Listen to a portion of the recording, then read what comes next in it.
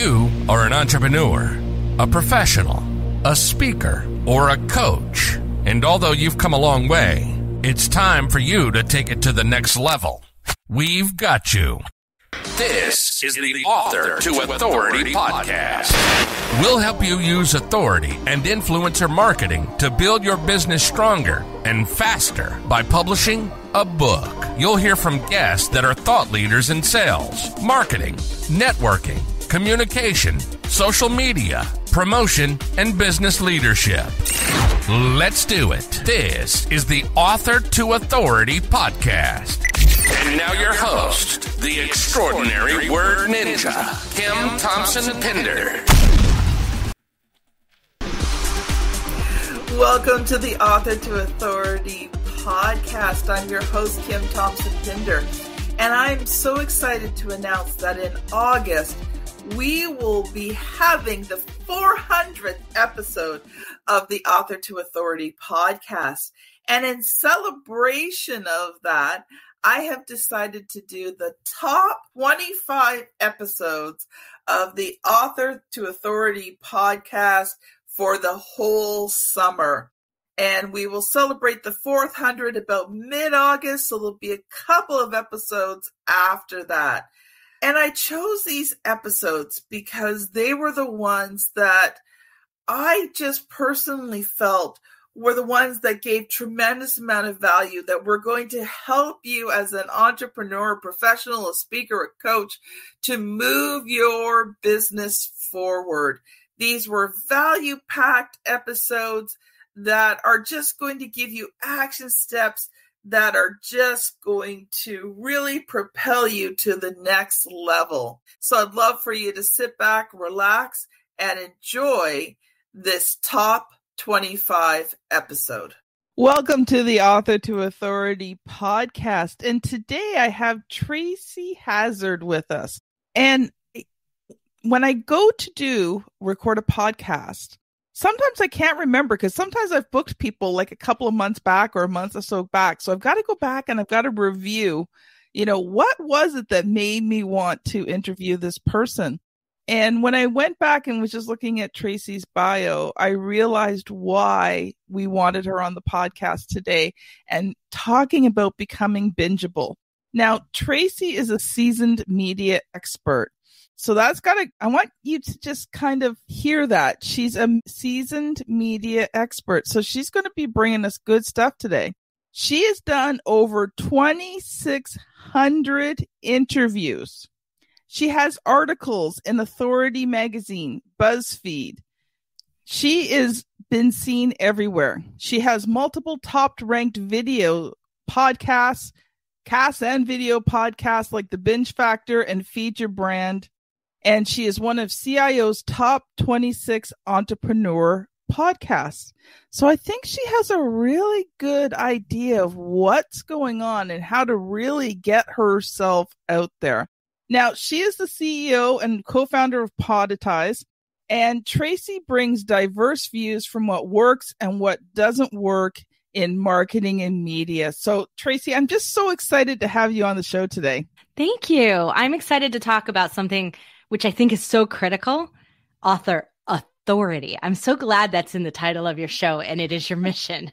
and that's why I agreed to come on the show because I like that message. It's so critically important. Oh, thank you, Tracy. And I agree.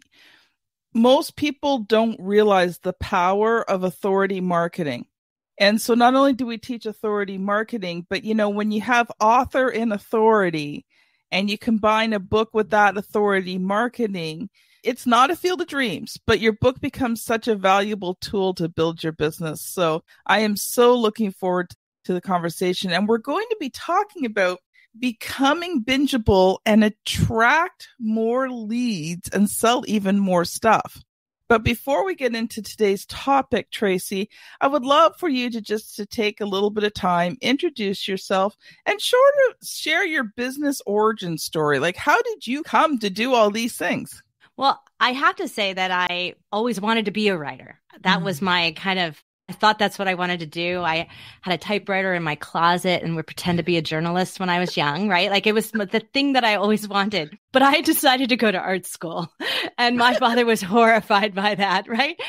Lucky for me, I did go to art school and I discovered this whole world of design and product and graphics and like this whole area of things that I probably would never have understood the power what you create and the creative process if that had not happened for me. And it mm-hmm. ended up making me a better writer in the long run. So Long's path through selling products and doing all kinds of things in my early parts of my career in the first 20 years. And we came to a crossroads in our business and we had a product design business where we were designing products for Target, Walmart, Costco, those kinds of things for major brands like Martha Stewart Living, Better Homes and Gardens, names you know every single day. We were ghost designers. And the problem was, is that it was getting to be more of an influencer world. And yes. we were the best in it. Like we designed hundreds of products that did billions of dollars, but no one knew who we were. So we thought about yeah. this and we said, what's the future for our business? How are we going to make sure that we're in demand? But our company, the companies we work for, their brand names matter more to them than our name. So how are we going to do that? How are we going to build this niche authority so that people mm-hmm. want to hire us and it is easy for us to get work? And at that time, 3D printing was coming into the marketplace on a consumer side. And we had already been mm-hmm. using it for years at, in an industrial sense. And so we said, well, we could be an expert in this and we could bring our information out there. And by that, exposing our design skills and, and exposing what we could mm-hmm. bring to the world. And so we thought about that. And we said, okay, let's do this. And we decided on podcasting as our media type to go into it rather than blogs because I had been blogging and I couldn't get anyone to read my blog but my dad. And so I said, this isn't working for us. Like, what else are we going to do? So we said, okay, well, let's try this podcasting thing. It seems pretty cool. And this was about 2000 2014. And so we started. Ooh, so you were an earlier adopter. I yeah, as we as I've been called an OG in podcasting, but I've met people who were a decade before that when it was really it was called podcasting, but it wasn't really even syndicated like it is today. So yeah. it was really old. You only had it within your own website. And so yeah, so we're really early on in that sort of stage of doing it what we found was so incredibly cool. We started this geeky little podcast called WTFFF, FFF is fused filament fabrication, which is a geeky term for 3D printing. And it drew just the right audience. In five months, we had 100,000 listeners a month. We were featured in Forbes. I got offered a column to write on innovation, specifically disruptive innovation of all kinds for Inc. magazine, which I wrote for four years, 400 articles. So, like, it all came out of the podcast. Mm-hmm. And we had gone into this whole sense of it thinking, well, at best, we'll get a few people to know who we are. We'll at least be able to send prospective clients to some visual, some audio that they could, they could check out. And it turned into so much more authority. So I was speaking on stages all over, talking about innovation in 3D printing, talking about product design. Clients were flowing in. In fact, lots of clients we didn't even want to take. Like we weren't even the right fit for them because of the way our services were cost and how they worked. And we ended up having to develop some additional services that were at a different price point. And so it was just really amazing how just that shift in authority Mm-hmm. and visibility of that authority worked for us. And that's what people were flocking to. And so before you know it, people were saying, I have a podcast and I'm not getting what you have out of it. Or I have a YouTube channel and I'm not getting what you, you're getting. What are you doing? Mm-hmm. And then I would start to tell them. And then they would hand me their credit card and they would say, Can you do this for me? And that's why I have a completely different business today. Because they were like, That's just too much work. Will you just do this? Like that's how it happened. And, but so I'm going to say this to you is that authority is a fast, fast path. Is it no work? that is never true, right? Yeah.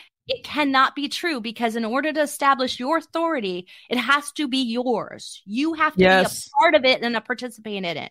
So you can have somebody who does like the technical stuff for you, posts it up on YouTube, posts it in the places you need it for, does SEO, does some of those search engine optimization things that are so critical. But at the end of the day, I cannot make you record it. I cannot make you talk about what's your authority in. must create that content. It's essential.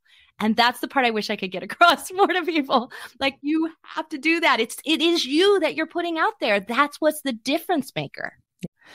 Uh, you know, loved what you said. There was a couple of things in there. So first of all, when you started up your podcast, you're you niched right down. I did. And you know, back then it was easier to build because there wasn't as many. Yeah, I I but, cannot promise anyone what we the results we got in 5 no. months. I can't do it today. It just doesn't work the same way. No. But what I was thinking about was the fact that, you know, instead of trying to go broad, you went deep. Yes. And that's a mistake too many people make. They they go too broad in their audience reach. They go mm-hmm. too broad in their topic. When you are deep and narrow, it has yeah. such great power. And you'd be mm-hmm. surprised. Mm-hmm. I mean, we were deep and narrow in 3D printing, but people would come to us for all kinds of projects and jobs. And you know, that had nothing to do with 3D printing at the end of the day, but that's how they found us. Yeah. And so I got some great jobs doing color palettes, like color palettes, like which is an expertise of mine. I used to do color palettes for Martha Stewart and things like that. So doing color palettes is my great mm-hmm. expertise. And I, I did a whole episode on on how to get better colors and things when you were working with the 3D printers. And that was, you know, or I also did an episode about how much I hated the colors of the filament of the 3D printers, and here's why. And I got filament companies coming to me saying, "Hey, w- could we hire you to do forecast line for us, the color line?"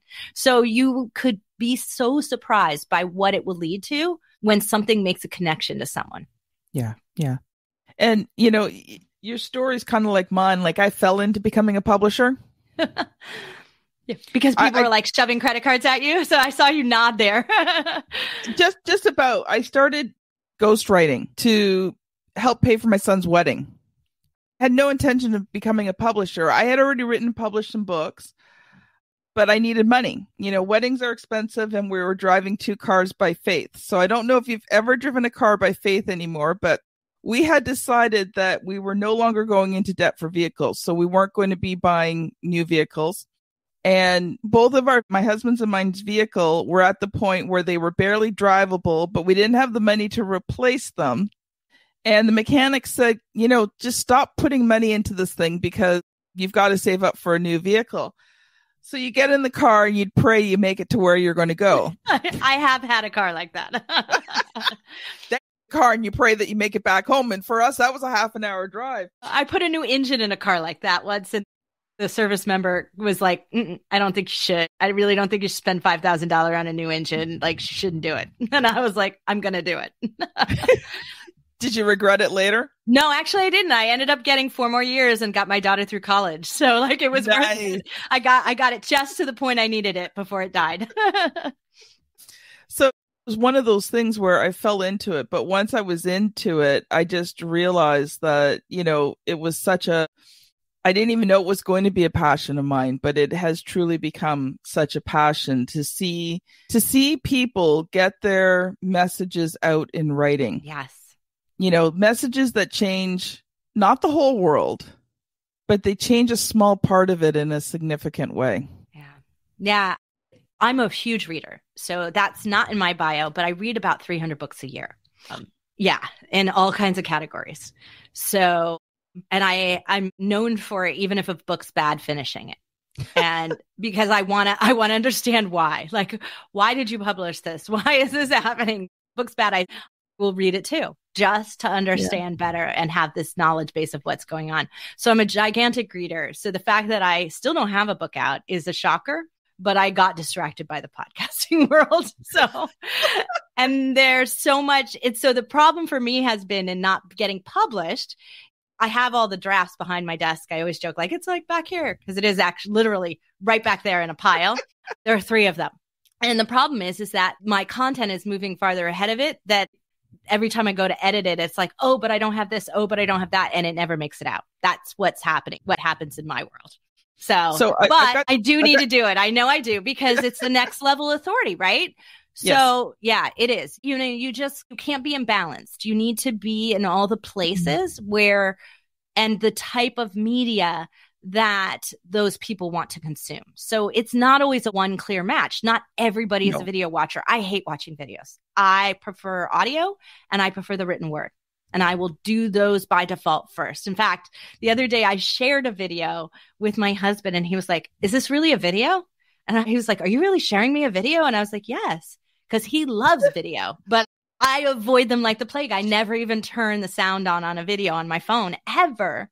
And that's just a just a difference in it. Mm-hmm. But I record video all the time for people. I'm comfortable on video. Yeah. I just don't prefer it as my method of consumption because it doesn't land in my learning process. Everybody yeah. has their own method and you really need to be video, audio, and written word. word. All three of those things matter.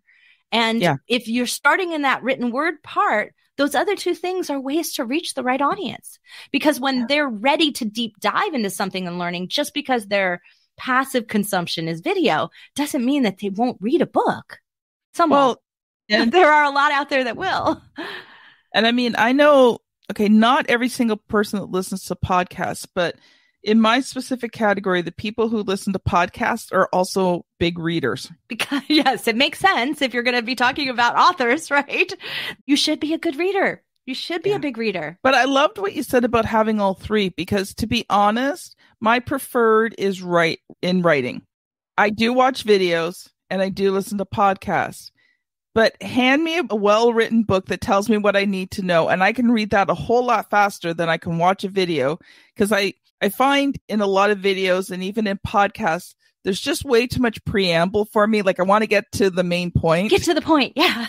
get to the point. With books, you can't okay a well-written book does not preamble right right and okay, then some people need the chat though see some yes. people in order to make connection to what's being said mm-hmm. and that's why that's why you need all the different modes and this is why as an author of any book you should be doing both i'm going to call it soundbite media you know, where mm-hmm. you're going in and you're doing 30 seconds, 60 seconds, you do three minutes on a, on a news channel. Those things happen when you're promoting a book, but mm-hmm. they're not enough. Sound bites yeah. are not enough. Doing podcast interviews are fantastic because it gives you the time to tell the backstory. It gives you tell them the things make it in the book. However, if you don't do that, then you're going to fail selling any books from any podcast interviews. You cannot do the thing, which I have heard many authors do, which is, oh, you have to buy my book to get that. If you say that in any podcast, no one will ever buy your book. No. Because that's not what podcasting and podcast listeners expect. You know, we're quickly running out of time and I want you to get to the main point, but sure. I know we're rambling, but I think this is just really important when when you want to position yourself as the authority, you give the information away. You don't give your products and your services away. But if you want to be seen as that true authority, you give the information away and you don't hold it back and you you don't make people in a sense have to beg you or pay you for the information. I mean, you're never going to do something in the linear way you might lay it out in your book. So if you've got a hmm. how to book, you know, how to content market, whatever that is, it's going to be linear path within that book. Yes. It's not going to happen like that on a podcast. It's not going to happen no. like that in an interview. It shouldn't happen like that when you're putting out whatever content or articles or mm-hmm. other things that you're writing and doing surrounding this, creating that authority for it. But mm-hmm. in order to be a true expert, you have to share and sharing shows your audience that you care enough about them for them to be successful yeah. without buying your book and they're more likely to buy it because of that and that's really what we want to you know happen yeah. more on podcasts and happen more in that author interview process because it's missing a lot of times in the media prep that happens it makes you attractive See, this is what people don't get. People think if I give all the information away, why would they work with me? See, when you give all the information away and you do it in the right way, your body language says, I don't care if you work with me. I am not desperate for your money, but it creates the sense that I want to work with you. And right. that's the difference. And that's what makes you attractive is, you know, when you give this information away and you do it with kindness and you do it with sincerity, oh, that's attractive. It is.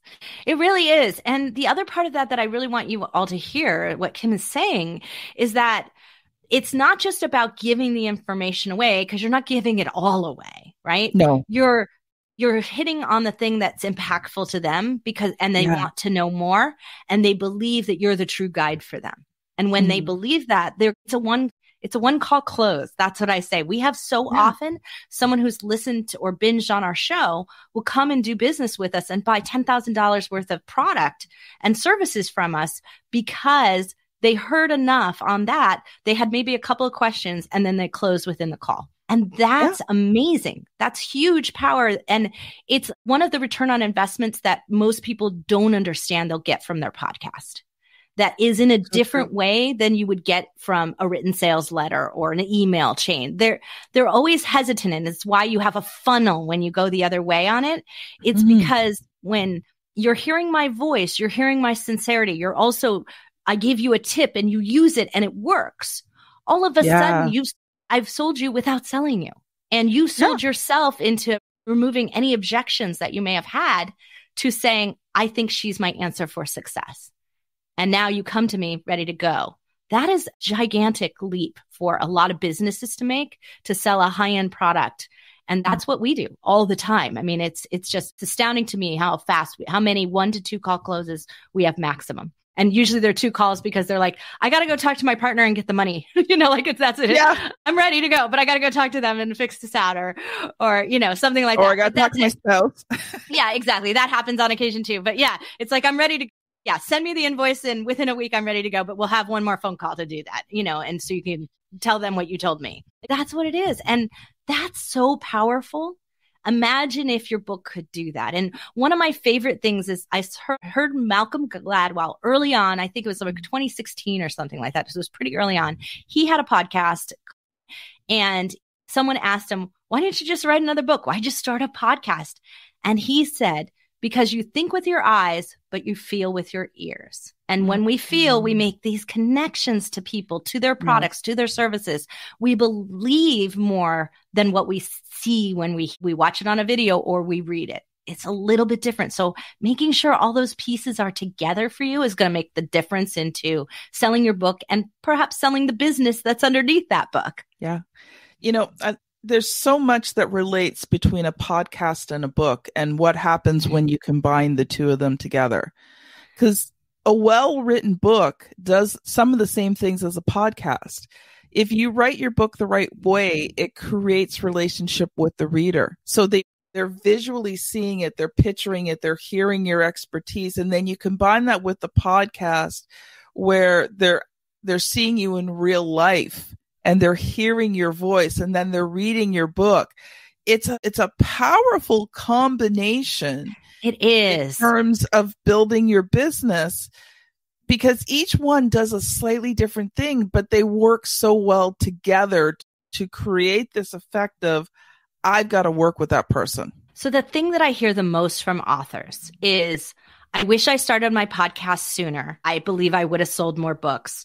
Or it's the flip of that is that they didn't do it until after their book was out there and not doing well and but really help sell the next book or create Yeah. the next book because it gave them the idea or the angle or the the information where they started to like almost like test market it and mm-hmm. then be able to build that again. So when we put them together soon enough in the process, I find that we sell more books, we Yeah. build more fans, we build a better platform overall. And mm-hmm. more importantly, if you do it right, and that's the part that I say where we, we take everything from video to audio to blog to social Yeah. share and your book sales, right? Like we put all those pieces together on one home base, not Yeah. leaving it out there at Amazon, not leaving it out there in YouTube, not leaving it out there in TikTok, making sure it's all in your home base is going to build your authority in a much better way. And that is the most underutilized Mhm. methodology for making sure that you stay in authority in your niche. Wow. Okay, audience, I've been saying this a lot lately, but what she just said is the golden nugget of this podcast. Those words, when you think about it, see, it's not about just having all this stuff. It's about having them all work together to bring them to your home base. And that's, you know, that's something I'm working on right now. See, I've got all these things, right? But I'm working on where's home base. And so that's the next step for me. You just so, said, so if I can just say, give you a little piece of advice, Kim, is that there are two ways to approach it. One, mm-hmm. you can have a home base that is in the niche. So like we have a home base for 3D printing. It's called 3dstartpoint.com. And we have 650 episodes that we did on that show that I mentioned earlier. I don't keep doing it, but that base gets traffic every single week because the yeah. podcast gets listeners every single week, even though we aren't producing new shows. It's mm-hmm. such a volume and a resource. So you can have a, your area be it, be a home base or it can be you. And it does depend on what kind of author you are. And if you have too many, I'm going to say disparate kind of audiences and there are lots of authors that are like that where they write in in mystery and romance and like they write in different areas then yeah. it needs to be you as the common base because otherwise yeah. you end up your niches won't work right so be thinking seriously about what makes sense but try to keep it to one base for everything if possible it's going to be easier to manage and much more powerful for you well, most of the people listening to this show are consultants, professionals, speakers, coaches. So you know they're not necessarily writing fiction books they they're writing nonfiction books to build their business so and then your so, business is the home base keep that in yeah. mind no separate book sites there's lots of companies that advise you on that put that right on your consulting site put it right yeah. with your home bases need to be combined in fact put the content front and center not your mm-hmm. book but the free stuff front and center. Make sure it's on the homepage. Make sure your sales message is not the first thing people see. Good point. Good point. You know, we actually never, we kind of skirted all around this becoming bingeable. We've got about five to seven minutes left. So, was there anything, some specific things that you had thought of for today for the show? Because I know we talked about a lot of stuff, but I just want to make sure I give you that chance to share what you had sure. prepared. Yeah, no, you know, look, I, I'm always happy to go ad hoc and go whichever direction the audience and the host wants me to go. Why? Because it's going to be more valuable to all of you. Because I can mm-hmm. talk about anything. So I do this all the time. But the reality is is at the end of the day when someone binges on your stuff that's when they buy everything. That's when they shove their credit cards at you. That's when they're they're there for you and for what you mm-hmm. have. They they believe in you. There is no way someone listens to you for 20 episodes 50 episodes 100 episodes. There's no way they do that and they don't want more from you. That it's just yeah. not possible. And what happens there also is that they become your best raving fans that's how mm. your audience grows. They say, Oh, I heard on this podcast, you, they might not even remember my name or the name of my show, but it doesn't matter. They said, I heard on this 3D print podcast this thing, and it was a great tip, and I tried it and it worked. You should go find that podcast. They will. Somebody will go out and they'll do it. Right. And that's the power of what you're creating there is this opportunity for someone to quote you. Now, and when it happens, and it will happen occasionally, someone happened to me and they quoted me back to me again. And I was like, they were like, I heard somebody in the industry say this. And I was like, it might have been me because it's such, it's such a common phrase for me that I would be like, I think that's me. That's the most, that's when you know you've made it. That's mm-hmm. when you know you're really an authority in your niche. wow. Wow. That is cool. That is so cool. Let's talk I remember about... the first time, just to tell this quick story. When I remember the sure. first time somebody, I, I realized that binge listening happened. Mm. And somebody sent me a message and said, and we had at that point like 200 episodes or something like that. And they reached out to us and sent us a, a message. And I'm sure there'd been other messages. And I thought we had loyal fans that were listening every week, but I didn't ever realize somebody might find us and go back to the beginning and listen to everything that's a true binger, like like binge watch a Netflix show, right? And so they've said reached out and said, I've only I'm only at about 98 episodes, but you say something here, and I'm really hoping I'm gonna get to it in the next episodes that are coming. But if I don't, can you record one before I get there? and they asked their question so we could answer it for them. And I was like, so I reached back out and I said, Oh, it's 103. We did answer that and it's number 103 and it's on, you know, so you're almost there. And, uh, but I just thought that was like, and I looked at my partner and I said, they listen to 100 episodes in a week. That is crazy. Can I? I don't know if I could listen to me for 100 episodes. And and I was like, we are on to something, right? Yeah. We're on to something. We change somebody's perspective.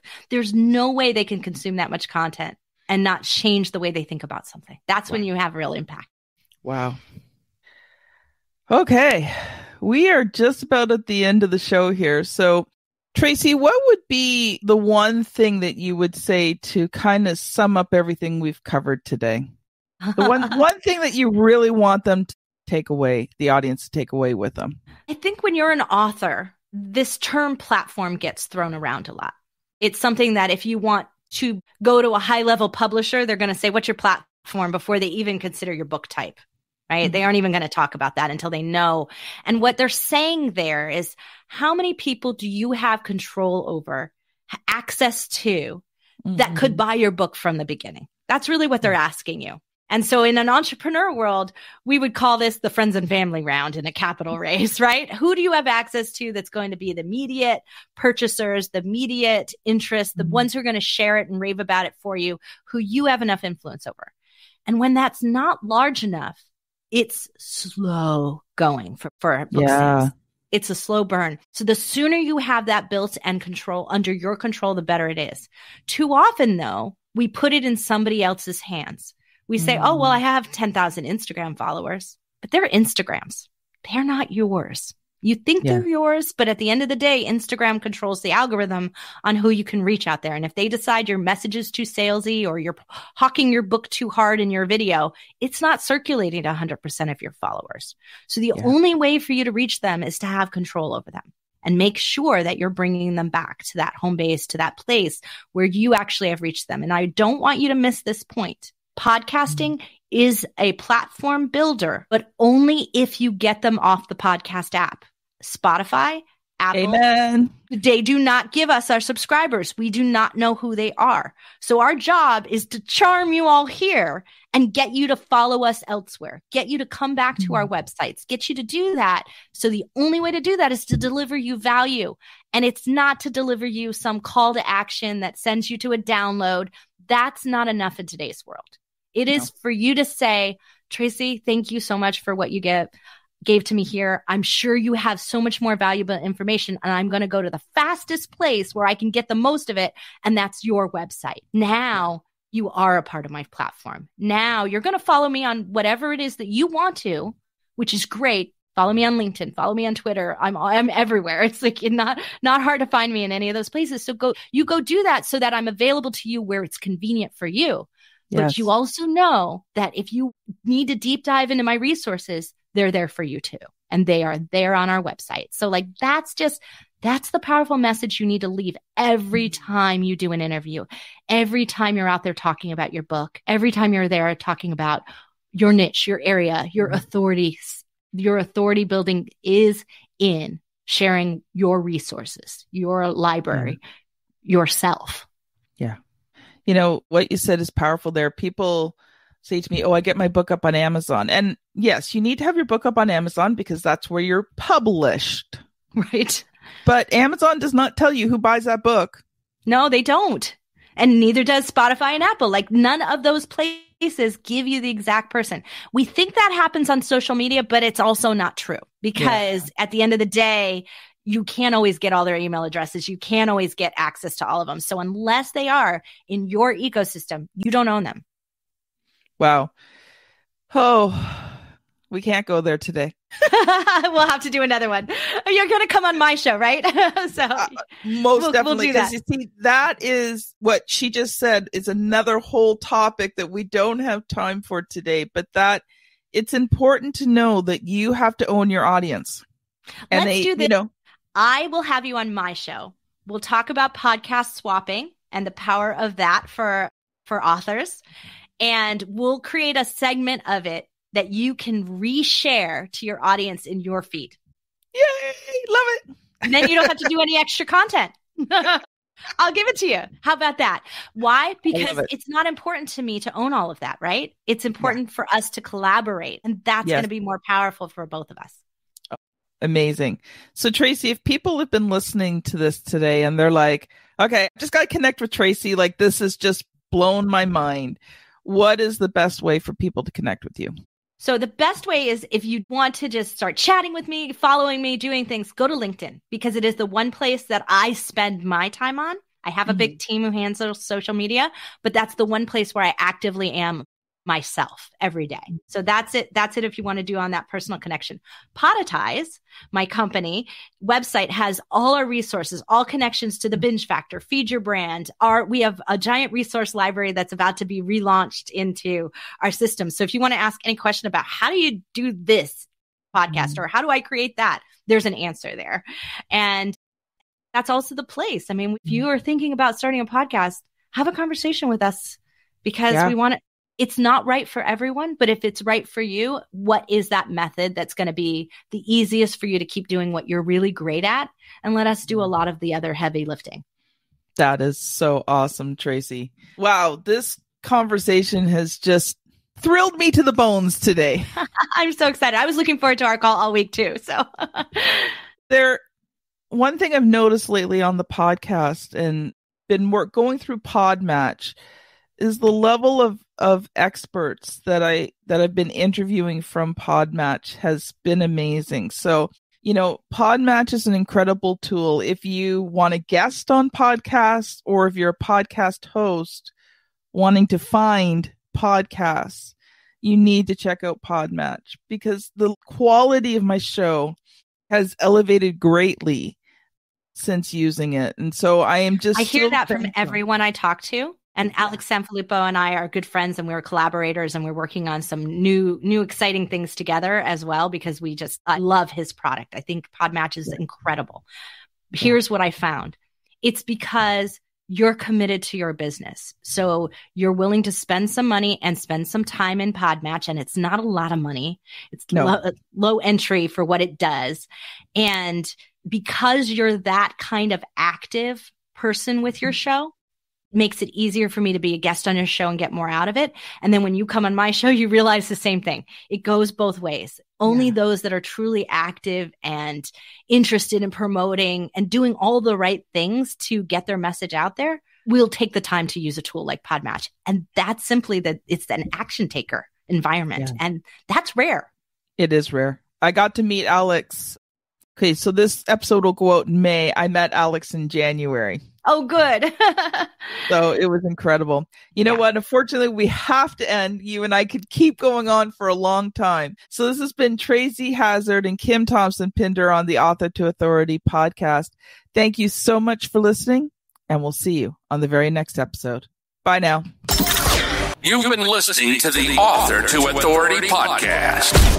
The extraordinary word ninja, Kim Thompson Pinder, has helped over 200 entrepreneurs, professionals, speakers, and coaches write and publish their books that have become incredible marketing tools for their business. And many of those have gone on to become Amazon best selling authors and have used their books to land high level clients and get on big stages. We hope you've enjoyed the show. Make sure to like, rate, and review. And we'll be back soon. But in the meantime, hit the website at www.authortoauthoritypodcast.com. See you next time.